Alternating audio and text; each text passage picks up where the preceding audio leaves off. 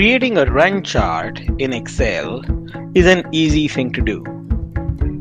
Here we have a data of at least 20 data points available in front of us.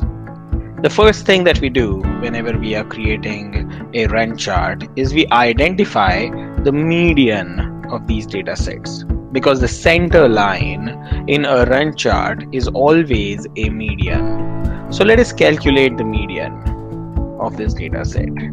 The median can be easily calculated by using the formula is equal to median and then selecting the entire data set.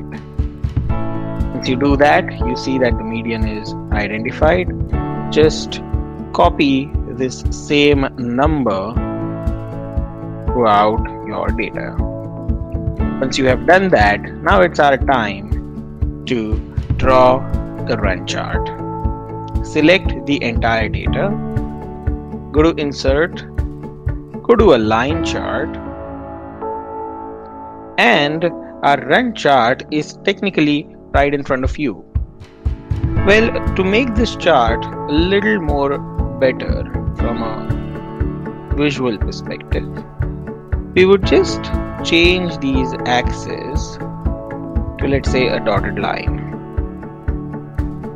make it just a little better from a view perspective.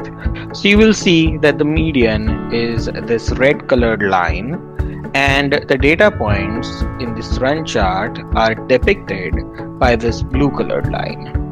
This is how a run chart is constructed in an Excel. Thank you for watching.